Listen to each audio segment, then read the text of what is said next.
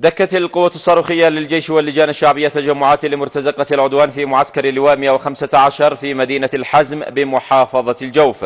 مصدر عسكري أوضح أن القوة الصاروخية للجيش واللجان استهدفت بصليات من صواريخ الكاتيوشا تجمعات المرتزقة بمعسكر اللواء 115 والمجمع الحكومي بمدينة الحزم. المصدر أكد أن الصواريخ أصابت أهدافها موقعة قتلى وجرحى في صفوف المرتزقة.